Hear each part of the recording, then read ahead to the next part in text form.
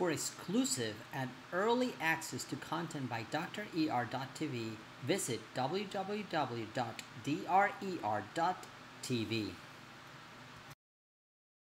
The nurse wants to watch too.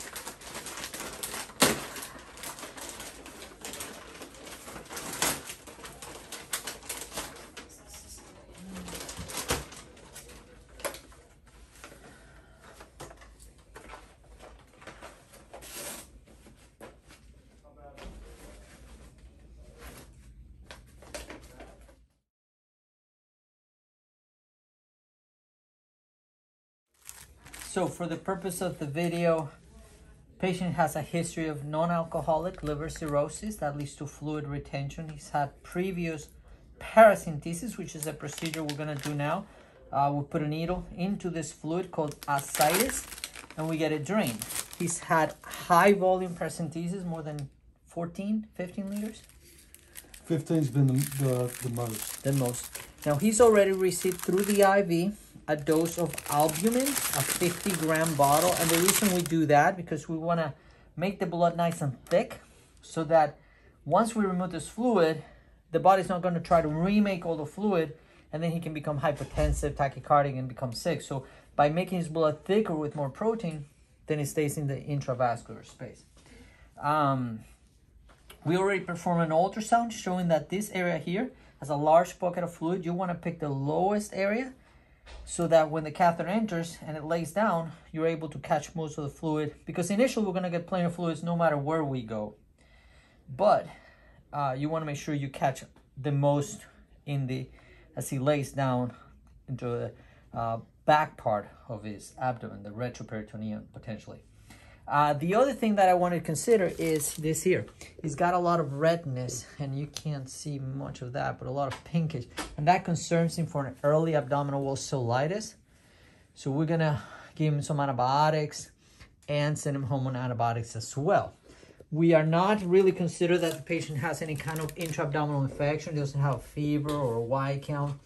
Uh, with people like yourself with bad ascites, you can get something called spontaneous bacterial peritonitis, in which you can have a spontaneous infection of the fluid. Okay. All of a sudden, you have belly pain, fever, chills, and when we do the puncture, the fluid comes out cloudy or dark. One time when I did it, it came out looking like Coca-Cola, that dark. Okay. And the patient had a perforated bowel, had to go to the operating room, all that kind of stuff.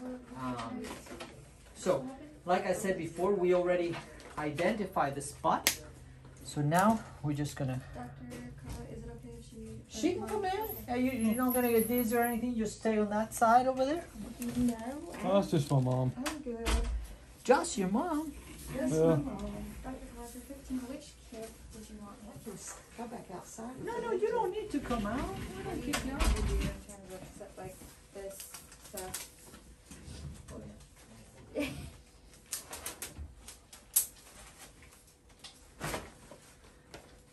He keeps saying he's going to have that elephant liver stuff. He's, Well, the, the the toughest part today was getting this kit that we needed. The actual Yeah. procedure is easy.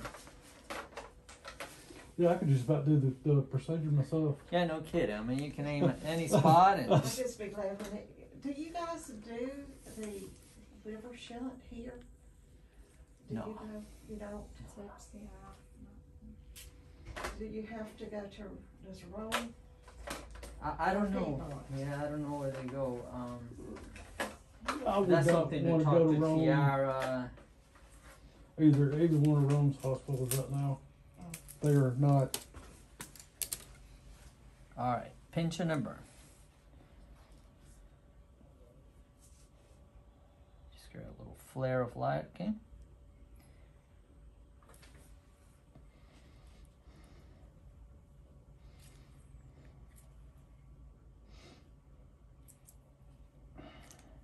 And then we pull, inject, pull, inject. I don't know if you know, ma'am, that's why I asked you to move up. We're doing a recording for an educational oh, video. Oh, I didn't know if you oh. wanted to be on it. No, I definitely don't need to be there. I hate my picture to be made. Same.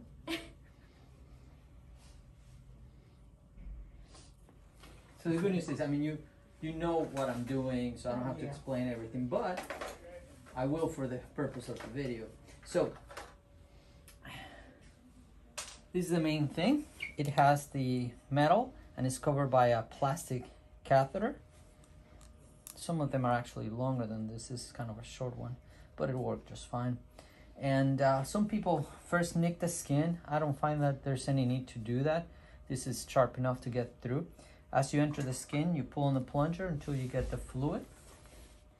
And if you're doing for diagnostic purposes, then you save the first amount for sending out to the lab. If you're doing for therapeutic purposes like him, then you don't need to save it. But so we go in, we start pulling back.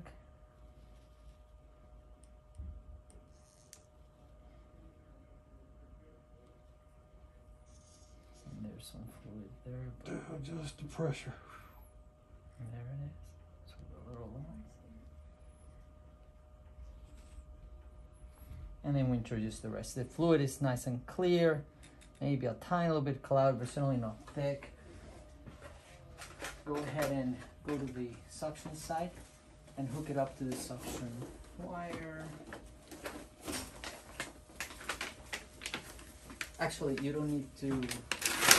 No, you need to connect the suction, start it on. I think he's stomach for this. He's already told me So, he's gonna leave. This is just like an IV cath. It hooks up here. This goes to the nurse to hooks up to the suction. You don't need that one because Oh.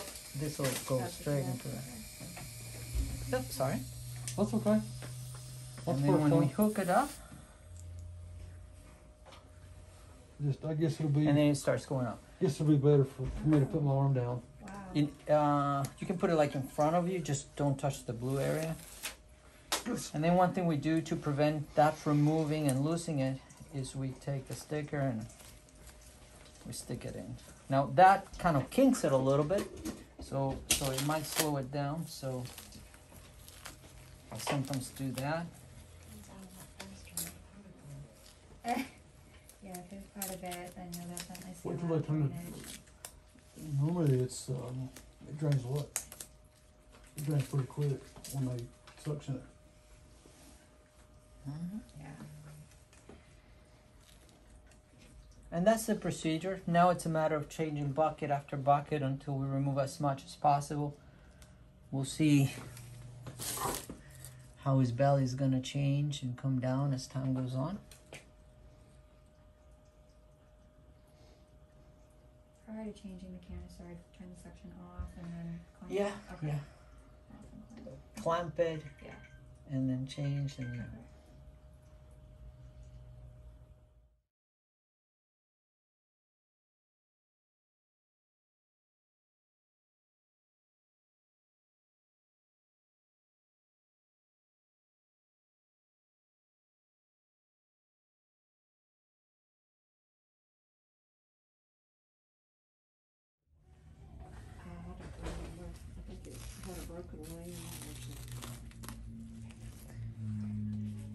Heard those things will, can mess you up.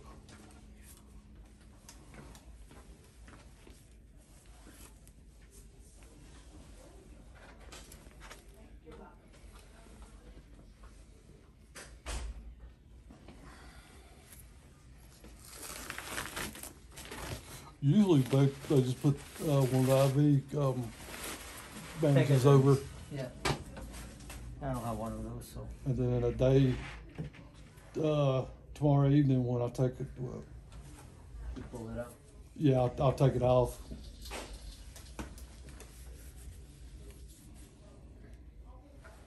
If you wanna hold that one there for me. Yeah.